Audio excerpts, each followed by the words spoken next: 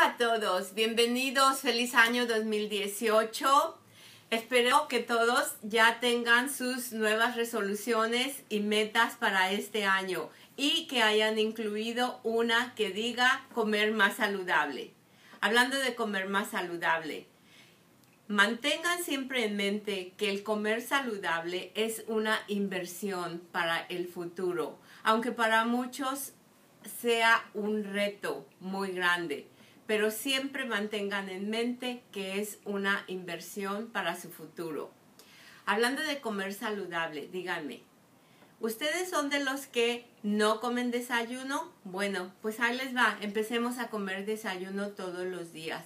No están consumiendo suficiente fibra, que a muchos nos pasa por igual. Pues entonces hay muchos alimentos altos en fibra, entre ellos los frijoles, que son fáciles nutritivos y deliciosos.